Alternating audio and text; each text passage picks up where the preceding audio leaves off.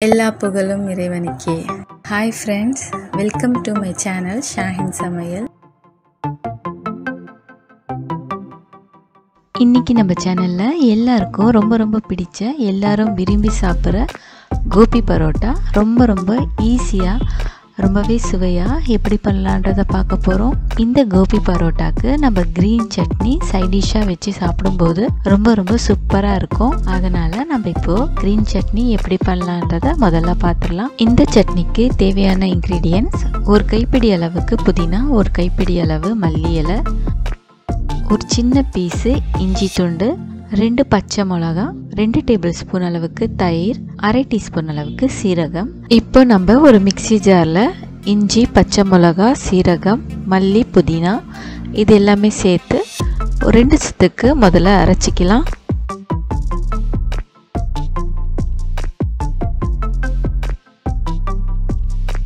இப்போ நம்ம இந்த அளவுக்கு அரைச்சப்புறம் இதில் நம்ம தயிரும் தேவையான அளவு உப்பு சேர்த்து ஃபைன் பேஸ்ட்டாக அரைச்சிக்கலாம்.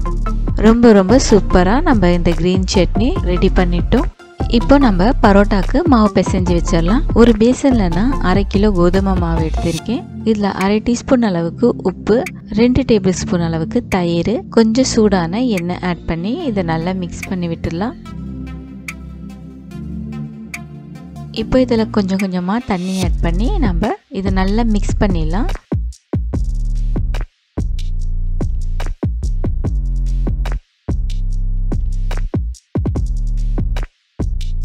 இப்போ எல்லாமே நல்லா மிக்ஸ் பண்ணிட்டோம். இப்போ நம்ம இது அஞ்சு டு பத்து நிமிஷம் நம்ம இந்த மாவு பிசைஞ்சோன்னா நமக்கு சாஃப்டான மாவு ரெடி ஆகிடும் இந்த அளவுக்கு நம்ம மாவு பிசைஞ்ச அப்புறம் நம்ம இதில் கொஞ்சம் எண்ணெய் தடவிடலாம். இப்போ நம்ம இது அரை மணி நேரத்துக்கு ஊற வச்சிடலாம். அப்போ மாவு நல்லா சாஃப்ட் ஆகிடும் நெக்ஸ்ட்டு நம்ம இந்த கோபி பரோட்டாக்கு ஸ்டஃபிங் ரெடி பண்ணிடலாம்.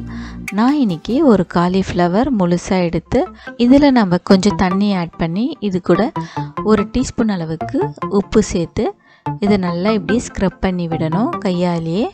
அப்போ பூச்சி அழுக்கு எல்லாமே இருந்தால் அது வந்துடும்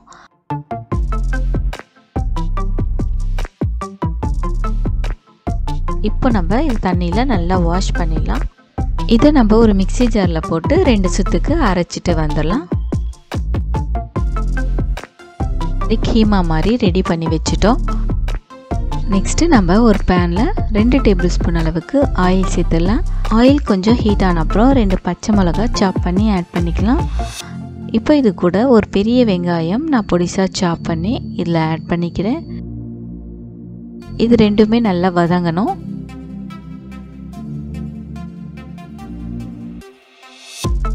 வெங்காயம் சேர்த்து இது நல்லா மிக்ஸ் பண்ணி விட்டுட்டு இது கூட நம்ம அரை டீஸ்பூன் அளவுக்கு உப்பு சேர்த்துலாம்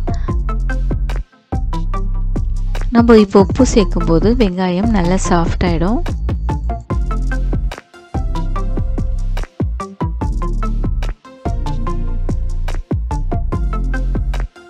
வெங்காயம் கொஞ்சம் சாஃப்டான அப்புறம் நம்ம இதில் ஒரு டீஸ்பூன் அளவுக்கு இஞ்சி பூண்டு பேஸ்ட் ஆட் பண்ணிடலாம்.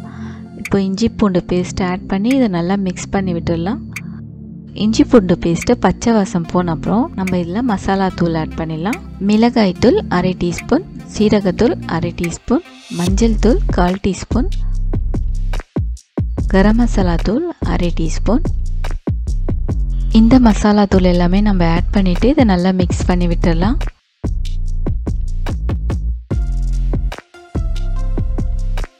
மசாலா தூள் எல்லாமே ஆட் பண்ணி நல்லா மிக்ஸ் பண்ணி விட்டுட்டு இதில் நம்ம ஒரு சின்ன தக்காளி சாப் பண்ணி ஆட் பண்ணிக்கலாம். இப்போ இந்த மசாலா கூட தக்காளி நல்லா மிக்ஸ் பண்ணி விட்டுட்டு நல்லா வதங்கட்டும். இப்போ நம்ம இதில் காலிஃப்ளவர் ஆட் பண்ணிடலாம். இது எல்லாமே சேர்த்து இப்போ நல்லா மிக்ஸ் பண்ணி விட்டுடலாம். இப்போது இந்த காலிஃப்ளவர் மசாலாலாம் நல்லா மிக்ஸ் ஆயிடுச்சு. இது அஞ்சு நிமிஷத்துக்கு நம்ம குக் பண்ணால் போதும். இந்த ஸ்டஃபிங் நமக்கு ரெடி ஆகிடும் இப்போ நம்ம சூப்பராக கோபி பரோட்டாக்கு ஸ்டஃபிங் ரெடி பண்ணிட்டோம். இப்போ நம்ம நெக்ஸ்ட்டு மாவு எடுத்து பார்ப்போம். மாவு இந்த அளவுக்கு ரொம்ப சாஃப்டாக இருக்குது இப்போ நம்ம இதுலேருந்து குட்டி குட்டி பால் எடுத்து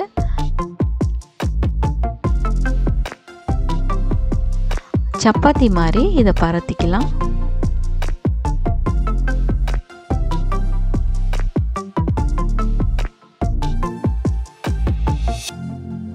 இந்த மாதிரி நைஸாக நம்ம சப்பாத்தி மாதிரி பரத்தின அப்புறம் நம்ம இதுக்கு மேலே ரெண்டு டேபிள் ஸ்பூன் அளவுக்கு ஸ்டஃபிங் இதில் வச்சுட்டு இந்த மாதிரி இதை ஸ்ப்ரெட் பண்ணி விட்டுடலாம். இப்போ இதுக்கு மேலே நம்ம இன்னொரு சப்பாத்தி வச்சு இப்படி கவர் பண்ணிவிட்டு இந்த ஓரங்களில் நம்ம இப்படி அழுத்தம் கொடுத்து ப்ரெஸ் பண்ணிடலாம். இப்போ நம்ம இதுக்குள்ளே இப்படி பார்த்தோன்னா ஏர் ஃபார்ம் ஆகிருக்கும் இந்த மாதிரி ஒரு ஸ்போக் வச்சு நம்ம இந்த மாதிரி லைட்டாக குத்தி விட்டோன்னா அந்த ஏர் வந்து ரிமூவ் ஆகிடும் இதை இப்போது நம்ம லேசாக இந்த மாதிரி பரத்தி விட்டுடலாம்.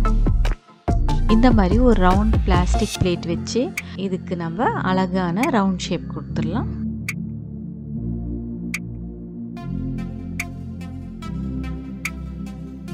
பாருங்கள் ஃப்ரெண்ட்ஸ் ரொம்பவே ஈஸியாக நம்ம பரோட்டா ஸ்டஃபிங் சூப்பராக ரெடி பண்ணி வச்சுட்டோம். இப்போ நம்ம ஒரு சூடான பேனில் கொஞ்சம் ஆயில் தடவிக்கலாம். இந்த பேன் சூடான அப்புறமா நம்ம ரெடி பண்ணி வச்சுருக்கிற இந்த பரோட்டாவை இதுக்கு மேலே நம்ம இப்படி வச்சிடலாம். இது வச்சுட்டு நம்ம ரெண்டு மூணு நிமிஷத்துக்கு அப்படியே வெயிட் பண்ணலாம். இது ஒன் சைட் நல்லா குக் ஆன அப்புறம் நம்ம இதை திருப்பி விட்டுடலாம். இப்போ இதுக்கு மேலே நம்ம ஒரு டீஸ்பூன் அளவுக்கு ஆயில் சேர்த்துடலாம். இது ரெண்டு பக்கமும் மெதுவாக எடுத்து திருப்பி போட்டு லைட்டாக தேய்ச்சி விட்டால் போதும்.